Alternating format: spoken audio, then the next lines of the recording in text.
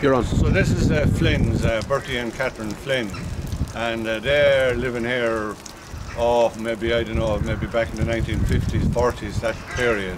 But it's a lovely old, um, lovely old house, and uh, so wonderful beech trees all around it. Uh, but uh, it was originally owned by um,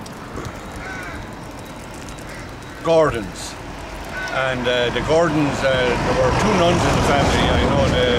They served in uh, in England, and uh, right down here, if you just come in here, uh, this house here, which is uh, Ahern's uh, accountancy practice now, uh, the Gordons built that because it was word that the council were going building cottages.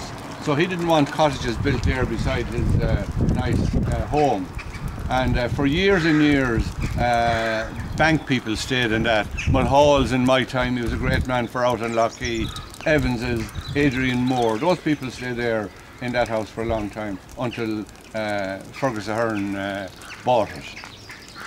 So across the road here, we have uh, three houses, and in my time, you had uh, Margaret Broder, Luke Dempsey, uh, you had the Garlands here, and uh, you had a fellow called uh, Mullen, Martin Mullen, lived there.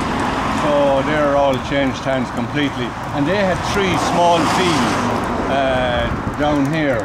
Each of them had their own field, but they are all come. That's Meadowvale now, and they're all built over.